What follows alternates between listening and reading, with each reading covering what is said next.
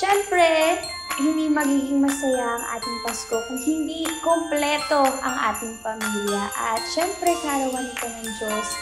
At nakasanayan din natin na kumain tayo ng sabay-sabay, di ba? Yung buo kayo, masaya, tawanan, kwentuhan, at sinusulit niyo lang yung pagsasama ninyo. Kaya dun pa lang sa pagiging kumpleto nyo ng isang family, sobrang masaya na yung Pasko nyo. Kaya sulitin niyo yung Pasko with your family.